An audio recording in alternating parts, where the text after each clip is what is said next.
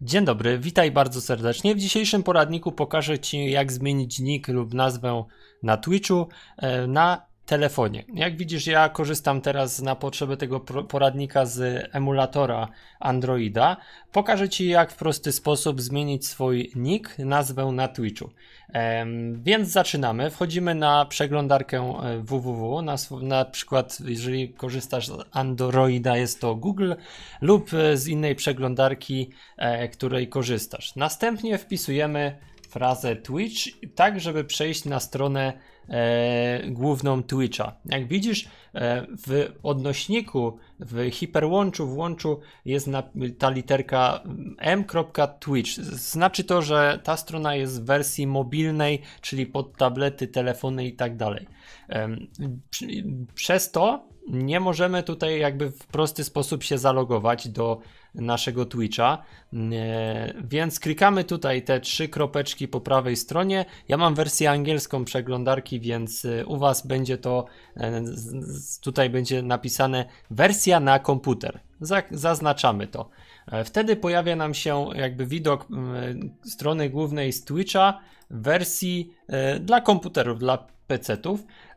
I teraz musimy się, jak widzicie, odblokowała nam się opcja do logowania i zarejestrowania się. Logujemy się na swój Twitch. Ja to zrobię poza nagraniem i widzimy się za chwilę. E, jesteśmy już e, na zalogowani, przynajmniej ja się zalogowałem, mam nadzieję, że ty też.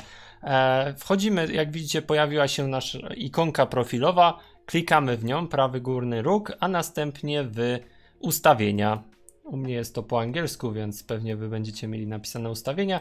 I tutaj w sekcji na samej dole mamy username, czyli nick. You may update your username, czyli ja mogę jakby ten nick zmienić. Klikamy ikonkę ołóweczka i będziemy mogli sobie tutaj zmienić nazwę.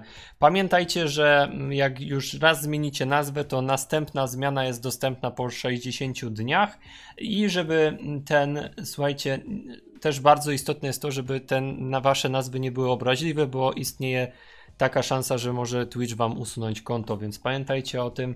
Mam nadzieję, że, że ci pomogłem, że wam pomogłem. Jeżeli tak, to rozważ e, to, czy nie chciałbyś pisać mojego kodu BrodTV w sklepie Fortnite lub Epic Games lub skorzystać z moich linków do Ceneo, XCOM czy G2A, jeżeli kupujesz jakieś gry lub sprzęt. Zapraszam cię też na moje streamy na Twitchu.